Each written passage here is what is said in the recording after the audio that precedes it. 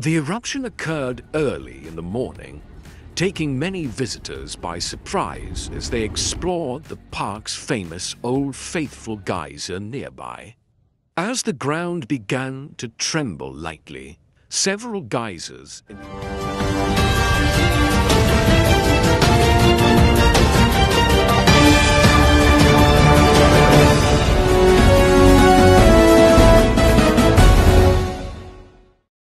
In an awe-inspiring event that captivated visitors and sparked scientific intrigue, Yellowstone National Park's old basin geysers erupted in a powerful display of geothermal activity.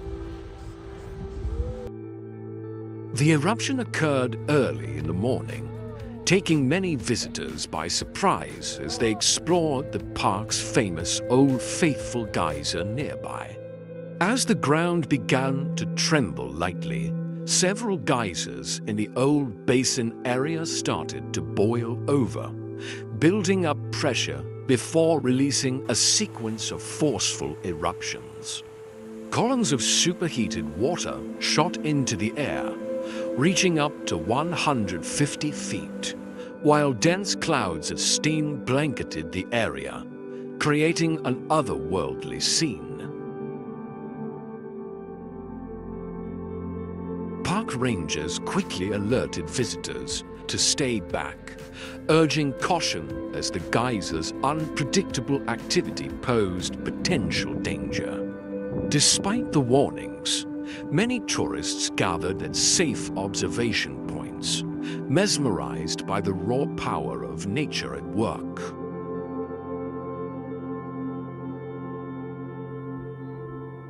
Yellowstone's old basin geysers are part of a vast geothermal system that lies above a massive underground magma chamber, heating the waters beneath the Earth's surface.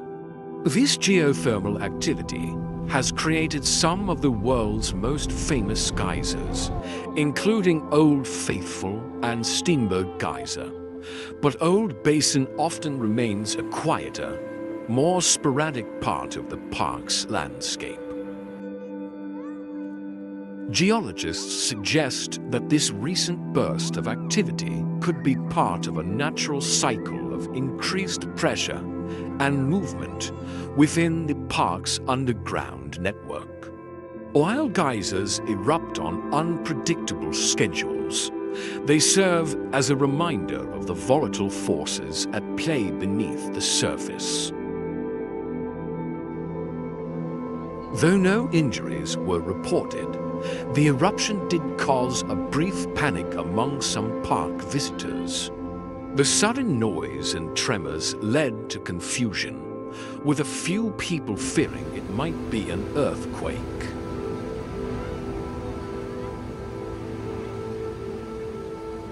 Rangers acted quickly to calm concerns, explaining that such eruptions while visually intense, are typical in Yellowstone and generally pose no immediate threat as long as safety guidelines are followed. Park officials have since closed off certain parts of the old basin area to allow geologists to study the recent eruptions more closely.